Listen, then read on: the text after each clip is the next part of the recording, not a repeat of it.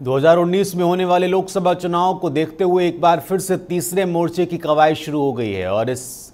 कड़ी में आंध्र प्रदेश के मुखिया चंद्रबाबू नायडू ने दिल्ली के आंध्र भवन में दिल्ली के मुख्यमंत्री अरविंद केजरीवाल से मुलाकात की। चंद्रबाबू नायडू केजरीवाल के अलावा लोकतांत्रिक जनता दल के नेता शरद यादव से भी मिले और बीएसपी सुप्रीमो मायावती से भी मिले। ये मुलाकातें बेहद अहम हैं चूँकि लोकसभा चुनाव से पहले जो एक महागठबंधन को देखा जा रहा है,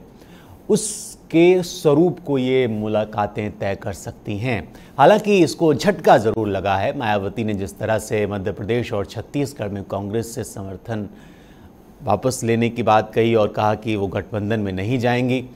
उसके बाद से हालात बदले हैं, लेकिन ये जो मुलाकातें हुई हैं, इससे ये कयास ज़रूर लगाए जा रहे हैं कि आने वाले वक्त में तमाम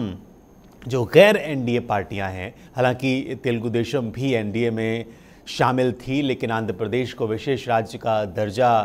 दिए जाने की मांग को लेकर टीडीपी लगातार केंद्र सरकार से बातचीत करती रही और जब केंद्र सरकार ने इससे इनकार कर दिया तो टीडीपी ने एनडीए से अपना रिश्ता ख़त्म कर लिया और अलग होकर अब जो